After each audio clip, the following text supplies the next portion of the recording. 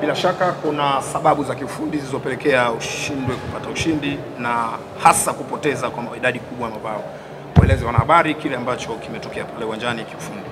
Ya, cha msingi tumeweza kupoteza goli nne, nadhani ndio kwa mara ya kwanza kuweza kufungwa na tulistahili kuweza kupoteza kulingana na performance ya leo tuliyoionyesha. Hatukuwa wazuri kwenye zoni ya midfield mpaka ile attacking, na kikubwa zaidi tuliweka game strategy, tucheze low pressure na pressing iwe kubwa sana kwenye zoni ya midfield na nyuma na tuliweza kumaintain hiyo mpaka kwenye dakika 42 waliweza kupata bao. Baada ya half time tulilose concentration na hasa kwenye baadhi ya, ya mianya hizi za, za wings na waliweza kufunga magoli mawili ya cross na moja tukajifunga.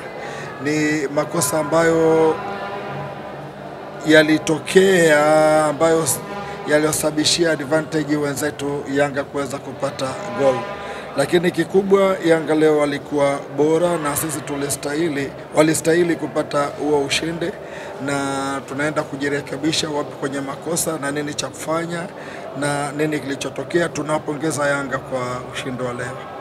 Asante mwalimu, na niwakaribisheni kwa maswali sasa.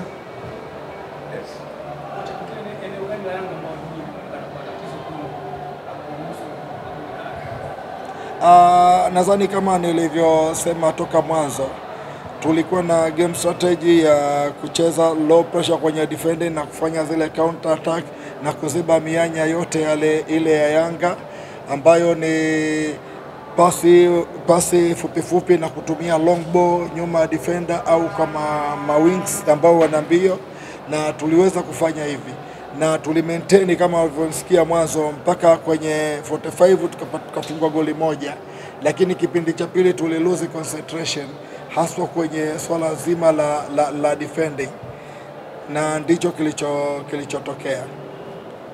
Swali pili? Yes.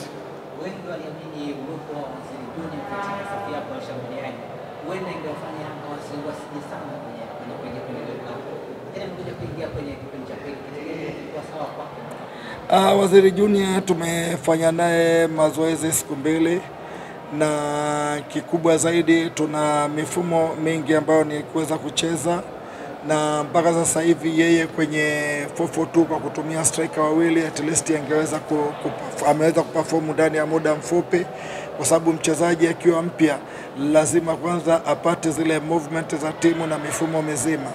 Kwa hiyo uwezo ukamwanzisha moja kwa moja hajakop na wenzie, japokuwa ana ubora na tunaona atatuweza kutusaidia kwa asilimia kubwa.